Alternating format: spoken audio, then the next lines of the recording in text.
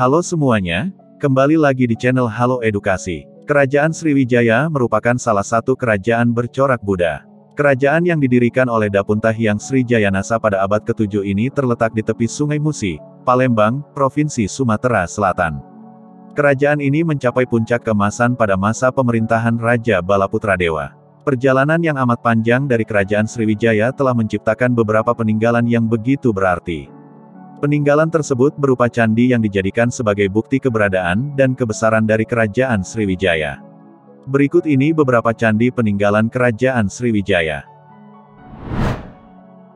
1. Candi Muara Takus Candi Muara Takus merupakan candi peninggalan kerajaan Sriwijaya yang terletak di desa Muara Takus, Kecamatan Koto, Kabupaten Kampar, Provinsi Riau. Candi yang berukuran 74 meter x 74 meter ini terbuat dari batu pasir, batu bata dan batu sungai. Candi ini sempat menjadi salah satu pusat pemerintahan kerajaan Sriwijaya pada abad ke-4 hingga abad ke-11 Masehi. Selain itu, candi ini juga pernah dijadikan sebagai pusat peradaban dan tempat ritual keagamaan pada masa kerajaan Sriwijaya.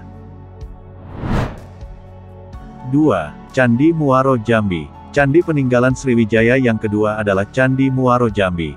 Candi terluas di Asia Tenggara ini terletak di Kecamatan Marosebo, Kabupaten Muaro Jambi, Provinsi Jambi. Luasnya hingga mencapai 3.981 hektar. Menurut sejarah, kompleks candi ini telah dilaporkan pertama kali pada tahun 1924 oleh S. C. Crook, seorang letnan Inggris. Mulanya, Candi ini dibangun sebagai tempat ibadah umat Buddha. Selain itu, Candi Muaro Jambi juga digunakan sebagai pusat pendidikan ajaran Buddha di abad ke-7. Adapun fakta unik lainnya dari Candi Muaro Jambi adalah candi ini juga telah dicalonkan menjadi salah satu warisan dunia pada tahun 2009 yang telah ditetapkan oleh UNESCO. 3. Gapura Sriwijaya Peninggalan Sriwijaya selanjutnya adalah Gapura Sriwijaya. Gapura ini terletak di Dusun Rimba, Kecamatan Dempo Tengah, Kota Pagar Alam, Sumatera Selatan. Hingga saat ini, terdapat tujuh gapura saja di mana sebelumnya terdapat sembilan gapura. Namun gapura ini telah dalam kondisi roboh, kemungkinan penyebabnya adalah faktor alam seperti erosi, gempa dan sebagainya. Reruntuhan tersebut akhirnya membentuk bebatuan segi lima memanjang dengan tanda cekungan yang oval.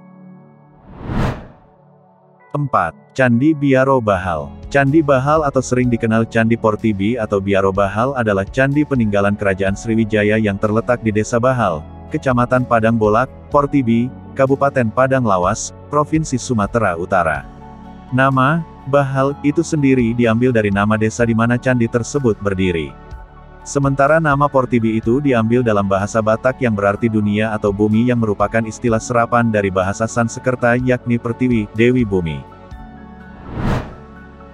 5. Candi Kota Kapur Candi Kota Kapur merupakan candi peninggalan Sriwijaya yang terletak di Desa Kota Kapur, Kecamatan Mendo, Kabupaten Bangka, Provinsi Bangka Belitung.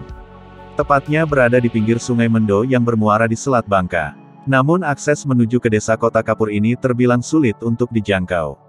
Oleh karenanya, bagi pengunjung yang ingin datang biasanya mengendarai kendaraan pribadi karena lebih efisien.